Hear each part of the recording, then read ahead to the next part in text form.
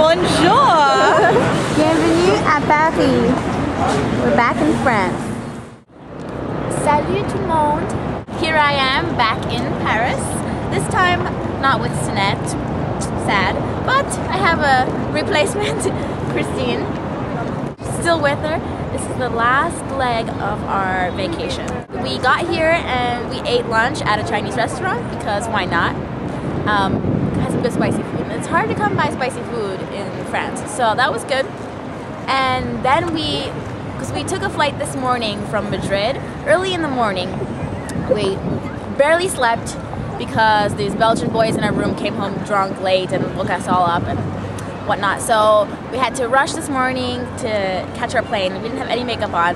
Now you see that I am wearing makeup, and that is because we went into a Sephora and rated it. We went down every aisle and put down mascara, eyeliner, eyeshadow, lip gloss. So you know, now we're pretty. But in the midst of uh, my makeover, I lost our map. Yeah, we lost our sense of direction. So then but we we kind of lost pretty. for a little bit.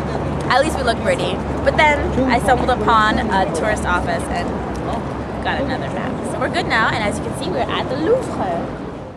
After stopping by the Louvre, we continued to walk down the gardens and all the way down Champs Elysees, where we stopped for a quick snack.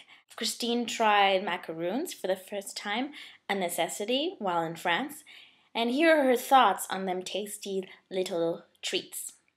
Hey, hey. Just tried some macaroons. Yes, very delicious. Um, I don't know how to describe it. It's ineffable. It's like it's this. There's a late reaction with the tongue because like you experience so many different like textures and flavors. Yeah. So good. It's really good. Afterwards, we went to the Arc de Triomphe and we continued on on foot and walked all the way to the Eiffel Tower. So, all this on foot, it was madness. The soles of my feet have never hurt so bad.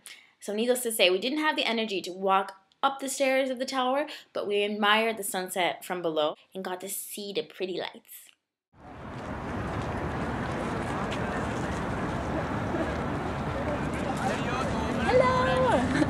Bonsoir! As you can see, I'm at the beautiful Eiffel Tower. The first time I get to see it up close at night. We were gonna go up top, but the line is really, really long and the stairs look kind of scary. So we're just gonna admire it from below for now, and we're gonna go get dinner really soon with Antonia, an old friend from junior year. So it was really great to have dinner with Antonia. We hadn't seen her since our junior year of college. She was a study abroad student for a semester, and we became pretty good friends. We got to catch up, and she treated us to dinner at a really nice traditional French restaurant. It was a great day in Paris. Day two, we decided to leave the city and started our day in Versailles to go see the famous chateau. So here we are at Versailles, Chateau de Versailles. You can see, there's a lot of people in line waiting to go into the castle. It's made famous by Louis XIV. Look at all them go. Shit. Hi, Kristine. Hey! We are here at Versailles, Versailles Castle. Very, very beautiful. Very mm-hmm. regal and elegant. And we barely saw anything yet. I know. Still got lots more to do. Yeah, we just got started. Last day in Paris. Mm, sad. Triste.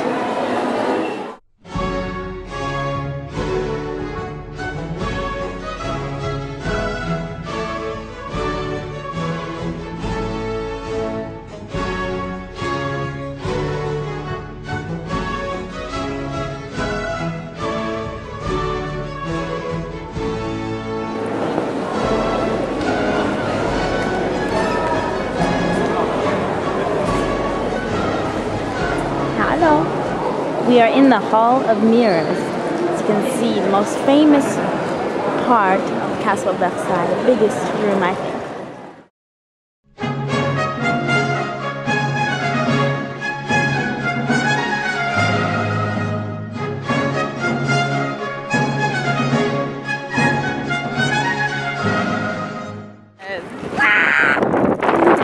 It's really windy here, you can tell.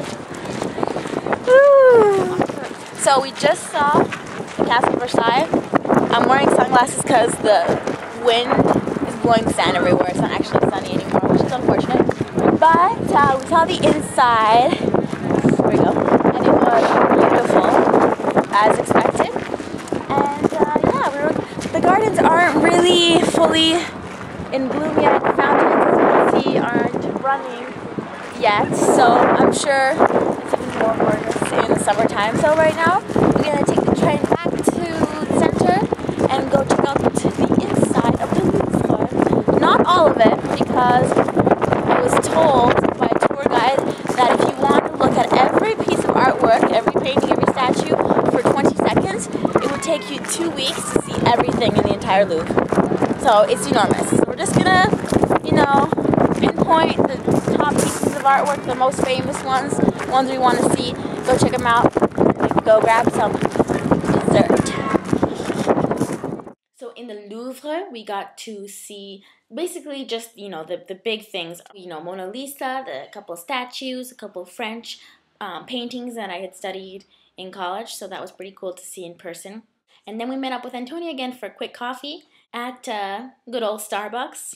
I know, not very French, but to be honest, we tried to go to the oldest cafe in Paris, but they wouldn't let us just have a coffee because it was dinner time and France has rules about when you eat and it's annoying and whatnot. So seriously, Paris is super expensive. So we were looking around all the menus and I was getting depressed because like hot chocolate was six euros somewhere. So we just said, screw it, let's just go to Starbucks and sit on some couches, you know?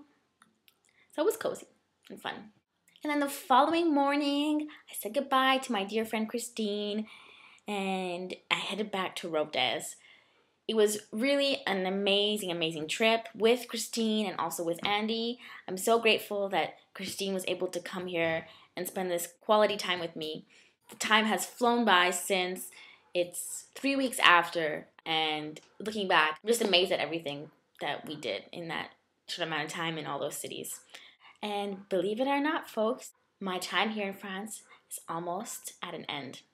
A little over two weeks until I go home. But no worries, I still have a few blogs to put out there, so there'll be some more Kucha time coming at you soon. Next blog featuring my family in France.